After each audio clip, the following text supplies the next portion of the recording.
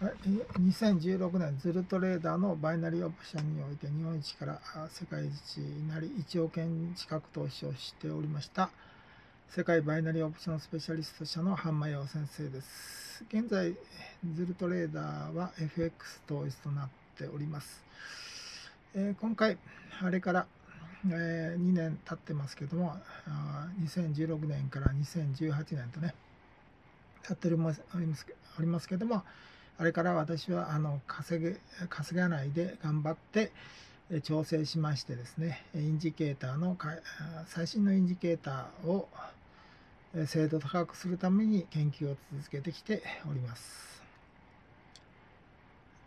えー、今回その投資の試験投資ですねライブでの試験投資1000円ずつの投資ハイアンドロー社その他いろいろありますけれども、試験投資の内容をご紹介いたします。で、この通り今2台ですね。2台のパソコンで投資してます。これはライブ投資ですね。ライブ投資ですので全部手入力となってます。えー、と、アドレス選択は許可をもらってやることはございますけども、今は全部自動でこう、あの手手動でえー、打ってます。というのは、こちらの方のパソコンで、インジケーターから、音声の指示からこちらで打たないといけません。えー、その、えー、えー、それで、先ほどこちらのライブ投資したんですけどね、1本ですね、試験投資なので、このように目いっぱい下が、あのシグナルからね、いうな方向に流れていくといいんですけど、いつもそうは簡単にすいません。えー、こちらですね。で、こちらね、あの、ユーロ JPY って出たんですけども、これが21時、えー、21時11分23秒ですか？あ、21秒ですか。で、こちらですね。えー、11月12日月曜日9時20分夜ですね。えー、なりまして、えー、ユーロ JPY ですね。えー、左から3番目なんですけども、白文字になってないんですね。ならないでシグナルが出たんで、えー、打ってましたけども、勝ちましたけどね。これはちょっと変だなというバグでしょうかね。えー、適正で入ってればいいんですけどね、ちゃんとなってたかということですよね。これはちょっと分かりにくいということでね、ちょっとこれからちょっと気をつけないといけないなということですね。ちょっと考えに入れて。先ほどプログラムの方を見たら、えー、繊維順の数値は見てるということが分かったんですけどね。えー、で、こちらのインジケーターの原理は、えー、片寄せポリンチャーバンドと RSI を2つ使ってます。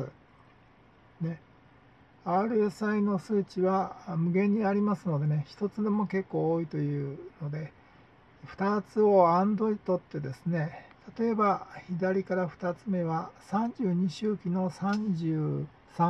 これ上下 100%, 100を引くんですね、33。下は33でいいんですね。あともう1個は13周期の21。これも同じで100%引いて21と下が21ですね。えー、というふうな計算で1つで表示してます。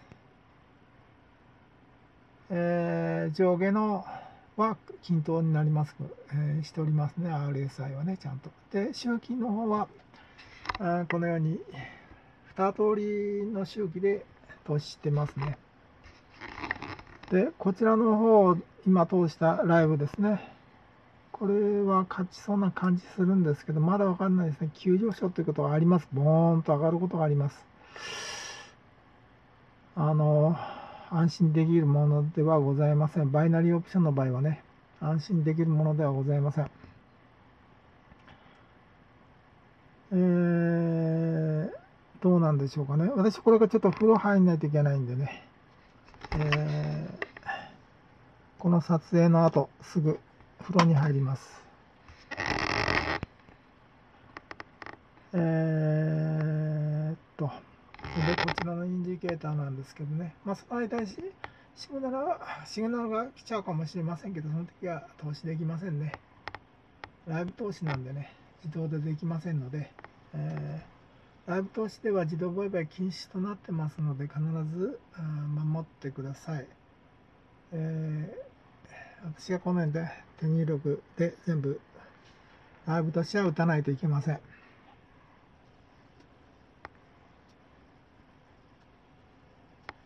さあ、あと53秒ですね。どうでしょうかね。うーんと、GBP、JPY は白文字で発見されてるんですけどね。ユーロ JPY ですね。このように打っております。1本だけね、1000円ですね。試験投資ですのでね、ご了承ください。大変少ない金額で。まだまだ安心できないんでね。どうでしょうか。あと24秒、もうすぐ20秒ですね。どうでしょうか。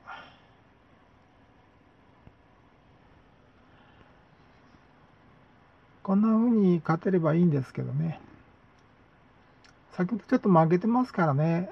負けて、2本、2本ぐらいまとめて負けたことがありましたから、今日は。その後、危険な投資で5本 ,5 本ぐらい打っちゃいましたからね。そんな。ギャンブル投資しちゃってますね。良くない投資。はい。なんとか勝ちましたね。なんとか勝ちました。これから僕シャワー浴びてきます。そんなことで、えー、半間洋先生の投資。ね。なんとか勝ちました。これはすごいですね。こんないきなり上がっちゃったですよ。バーンと、ここで。